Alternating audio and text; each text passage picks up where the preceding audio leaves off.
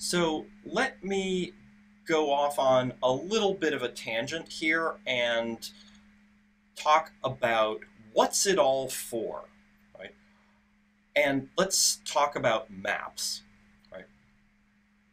The reason that I want to talk about maps is that thesauri, controlled vocabularies, uncontrolled vocabularies are maps metaphorically maybe but i think you could make a reasonable argument that all vocabulary even natural language is a map of the world right? We take the incredible complexity of the world and we collapse that down into words that represent that incredible complexity of the world but are much simpler right?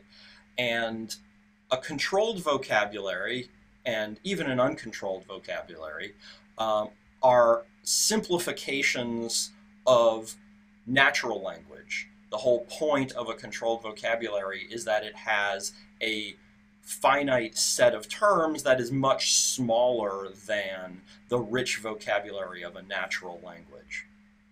So, thesauri, controlled vocabularies, are maps.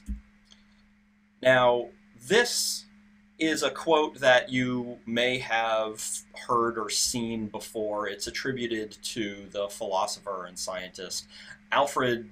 I am sure I'm not going to be able to pronounce his last name. Korzybski. Forgive me if I've mispronounced that. Right? The map is not the territory. Right? So, what is a map for, really, is the question. So this is uh, Steven Wright, who is a American comedian who was very popular in the late 80s and uh, early 1990s. And he had a joke that I think is pretty darn funny. Um, so let me tell it to you. Uh, he had a very deadpan delivery style. I'm sure I'm not going to be able to imitate it. His joke was I have a map of the United States, its actual size. It says one mile equals one mile. I spent last summer folding it. I also have a full-size map of the world. I hardly ever unroll it. Right? His delivery is better. But here's the thing. Why is that joke funny? I mean, the way I tell it, it's not particularly funny. But when he tells it, it was very funny. Why is that joke funny? I'm going to kill the humor by analyzing the joke here, right? Because a map, the size of the thing that it's representing, is not a map anymore. Right? The map is not the territory. This is a map, not the territory joke, frankly. Right? The funny thing is, a map that's the actual size of the thing it's representing is also not the territory either, because what if you have your map of the United States and you unfold it and it's the size of the United States and then you move it three feet to the left?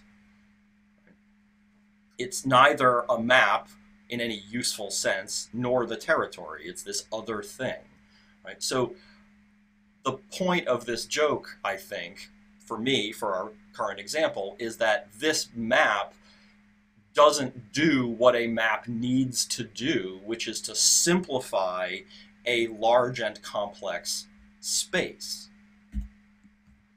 So what is a map for, actually, right? A map simplifies a complex physical space, but it simplifies a complex physical space in a very particular way. There are lots of different kinds of maps and what I have here is a, a road map of Massachusetts and a topographical map, right? Maps boil down the incredible richness and detail of the physical world to just what you need in a particular situation, right? When you're driving, usually you don't need topographical information roads, at least in the United States, are made so that the geography and changes in altitude and whatnot are largely irrelevant. Right? What you need is an accurate representation of which roads go where, what connects how, what roads are one way, etc. Right? So a road map focuses on particular details that you need when you're in a car. Right? On the other hand, when you're hiking, you generally don't need information about roads unless they cross the trail you're on. But topographical information is much more important because if you're going to be, excuse me, going up a steep slope, you're going to want to know that if you're on foot. Right? So different kinds of maps serve different functions for different users in different contexts. Right? Now, why am I obsessing about maps other than the fact that maps are kind of cool? Right? Metadata is a map.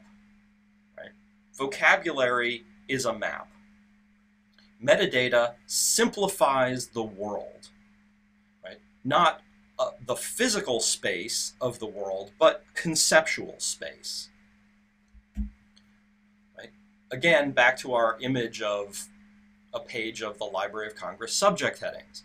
Right? It doesn't get much more complex than the entire scope of human knowledge. The Library of Congress subject headings reduces that complex conceptual space to a set of terms that you are allowed to use to describe that complex conceptual space. It's a large set, sure, but it's a finite set. Right? And just like you don't need to know everything there is to know about the road that you're driving on to use a road map, you also don't need to know everything that there is to know about, say, the Columbia River Gorge or the Columbia River Plateau to use the LCSH controlled vocabulary, right? To use that particular term to describe something, right? The territory here is the scope of all human knowledge. The map is the Library of Congress subject headings the map is not the territory, but the map is more useful under certain conditions.